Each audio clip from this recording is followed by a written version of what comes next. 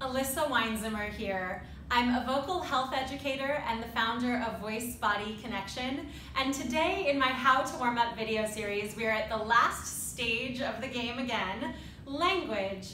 Now, last week in the articulation video, we talked about fricatives and we focused specifically on the sounds F, V, TH, both unvoiced and voiced, and SH and ZH, okay? So now we're gonna put all of those sounds together in different configurations in tongue twisters to practice them in language, okay?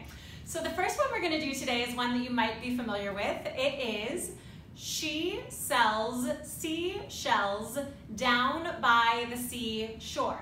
So this one gets into SH, S, and Z, okay? So let's do it four times. Here we go, nice and slow. She sells seashells down by the seashore. She sells seashells down by the seashore. Okay, quick break before we continue. Do you notice even though the word is spelled with an S at the end, it's actually pronounced with a Z? Shells, yeah? So make sure you actually make your voiced Z at the end of that word, okay? Let's do the last two a little faster. She sells seashells down by the seashore. She sells seashells down by the seashore. Very nice. Feel free to do a little dance because it's nice to move your body while you do it too, okay? This next one's really fun and very challenging. Uh, you'll find it actually in the movie The King's Speech, and it goes like this. I am a thistle sifter. I have a sieve of sifted thistles and a sieve of unsifted thistles because I am a thistle sifter. Yeah? Okay, we actually have to explain what this means because by the way, it gets really hard to remember something longer like that if you don't think about what you're saying. So a thistle sifter would be someone who takes those prickly flowers, those thistles, and sifts them or separates them into two different sieves, which is a uh, basket, right, with like little holes in it so that things can sift through it. Make sense? Okay, so the sounds in here, we have an F, we have a V, we have an S, we have an unvoiced TH, right? So we're getting a little bit of voice with the V, but mostly we're focusing on our unvoiced sounds, okay, our unvoiced fricatives. Here we go, let's do it two times.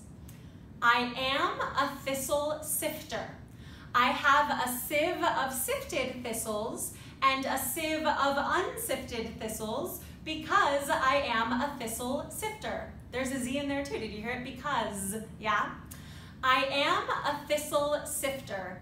I have a sieve of sifted thistles and a sieve of unsifted thistles because I am a thistle sifter.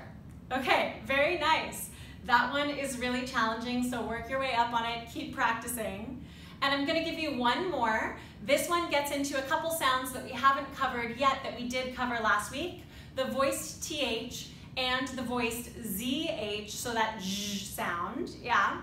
And also we'll have a V in here.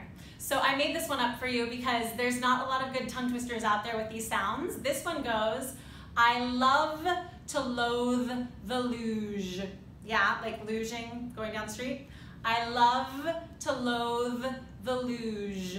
Now there's also a reason that I put these harder sounds that we're focusing on at the end of the syllable because it takes more breath support and energy to continue making that sound all the way continuously through and actually buzz it in a voiced way all the way to the end, okay? So really use your breath support.